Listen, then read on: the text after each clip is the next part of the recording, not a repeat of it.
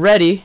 Okay. Um, and what I need to do now is take these elements and I guess put them into the mixer first so I can show you some effects and stuff. So that's what we're going to do. We're going to put the drums, well just a bit of the drums, show you little basicness. So I'm going to put the, the kick and the snare into the mixer. So what we're going to do, right click that.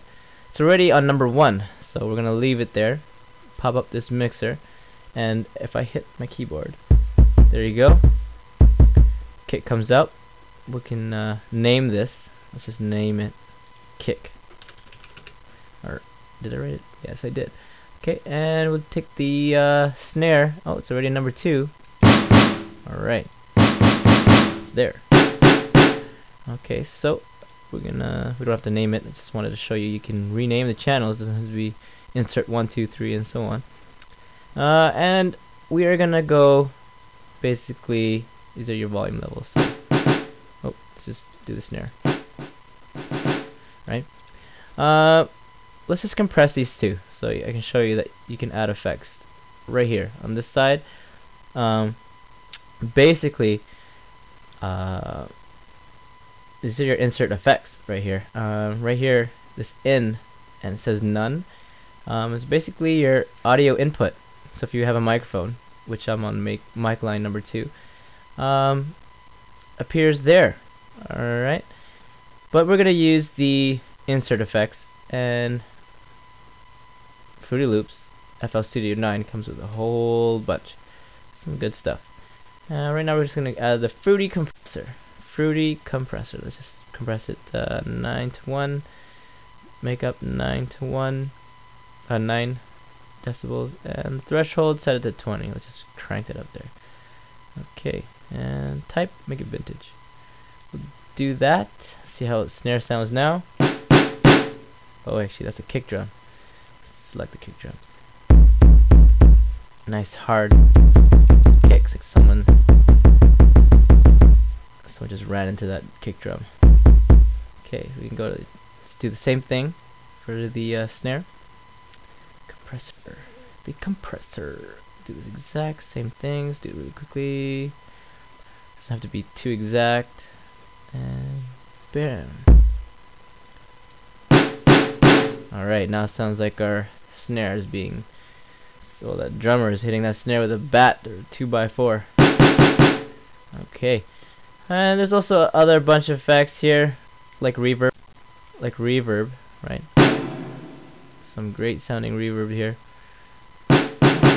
Not gonna go in depth with that, but it's there for your uh, for your discovering, I guess. So, we have all this. I showed you the mixer right here. Okay, unlimited number of tracks. Okay, guys, 99. Like that's pretty unlimited. Um, and yeah, you can do so much. It's just there's no limitations with the software. This is why I love it so much, especially with the routing and the patch bay kind of hap thing happening in the bottom here. Um, so we have that. Let's get on with the last main window slash editing thing. It's called a playlist. This first button right here. Okay, I'm just close everything so you guys can see uh, what I'm talking about. Oh, these are just channels. And uh, right here, which is this window, piano roll. And there I am again. So the last thing you want to do is this mode. Now, this is how the song is created. Um, there's two ways of doing this. Uh, with your own way, your own unique workflow. Uh, there's no limitations, like I said. You can work the old way, the new way, or a bit of both. I like working the new way now, and I'll show you why in a sec.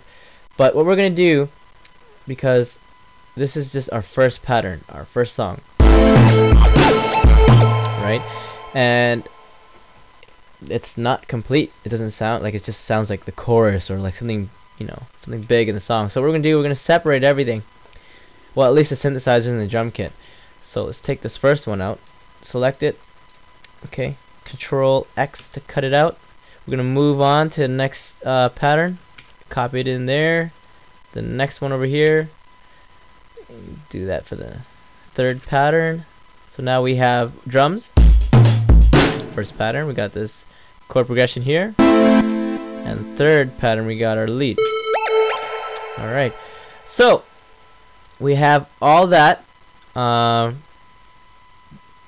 you know in different in different patterns so what we're gonna do here pattern one two three okay we're gonna switch our mode okay we're in pattern mode. We're gonna go with song mode. So now when I press play plays whatever is in this in this mode okay? So far there's nothing. That's why you don't hear anything. So first pattern. Second. Oops. And third. Let's just rename them so I know quickly what they are. F2 is a shortcut for that. Alright if you guys want to do stuff Speedy Gonzales style. Oh I press F3 okay there we go um, alright, so the old way of working is just basically this. So let's start off with our lead. And then the second bar comes in. Let's start with our drums. And so forth.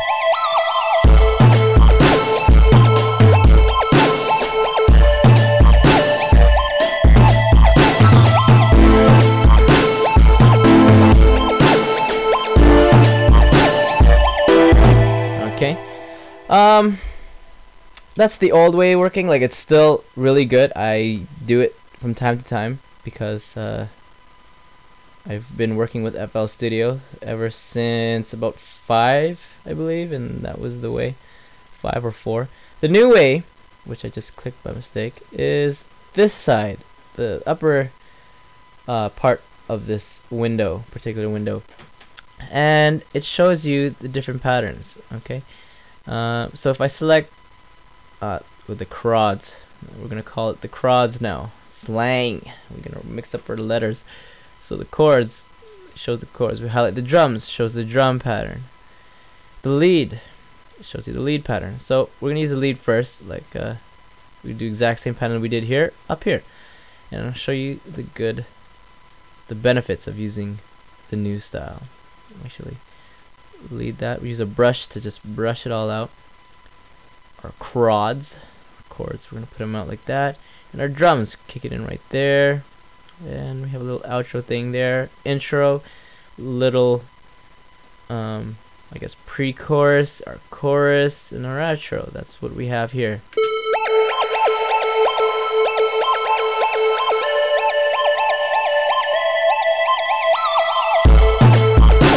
Okay, so that's what we have right there. Uh, some good things about it. Uh, you can cut out any part of your pattern and move it wherever you want. Whereas doing that over here is not so easy and it can get really messy so I suggest you guys don't try that at home.